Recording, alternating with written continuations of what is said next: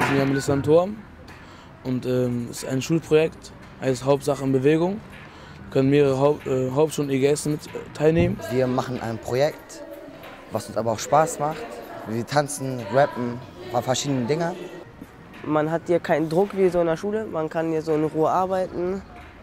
Äh, viele Leute, ein großes Publikum. Äh, ja, ist eigentlich voll geil. Wir finden es immer noch sehr wichtig, daran teilzunehmen, weil die Schüler mal in ganz anderen Bereichen arbeiten können. Das kann Schule nicht bieten, was hier geboten wird.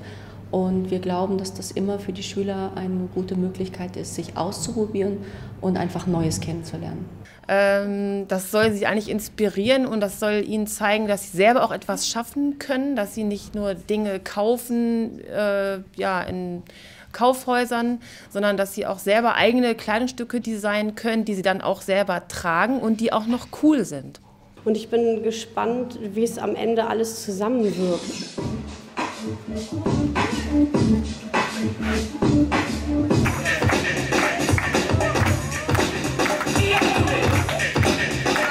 Hier gibt es eine ganze Menge zu sehen, jede Menge Trubel. Viele, viele, viele junge Leute, Jugendliche, Kinder, Schauspieler, Tänzer, Musiker, Designer.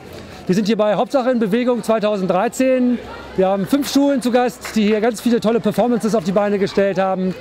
Und wir befinden uns hier mitten in der Limburgstraße an der Nummer 1 am Verkaufhaus Hannover. Mal unabhängig davon, dass das eine unglaublich spannende Geschichte ist, das haben Sie wahrscheinlich schon mitbekommen, ist das Thema an sich ja etwas, was uns berührt als soziales Kaufhaus. Neben dem Motto Hauptsache in Bewegung war ja auch das Thema Arm und Reich und Kunst und Essen, Essen und Kunst.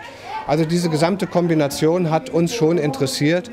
Und die Möglichkeit, ein Kaufhaus in so eine Performance einzubinden, ist meiner Meinung nach auch nicht etwas, was alltäglich ist. Also wir, das war eine, eine Mischung zwischen Interesse, also ich sag mal Abenteuerlust und auf der anderen Seite hat uns das Thema an sich auch interessiert, weil es auch sehr wichtig ist, Jugendliche hier in das Unternehmen, in das Kaufhaus äh, zu bringen. Also ich glaube, man sieht die Schüler ja in ganz anderen äh, Bereichen mal. Also ich habe nicht gewusst, dass der oder der Schüler gut rappen kann oder dass die jetzt zum Beispiel so kreativ ist, Mode zu entwerfen. Ich glaube, man sieht da Schüler mal ganz anders oder in Bäume klettern bis ganz nach oben sich trauen.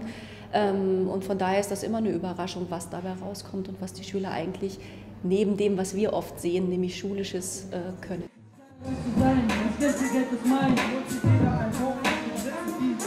viva, viva, viva, viva, viva, viva, viva,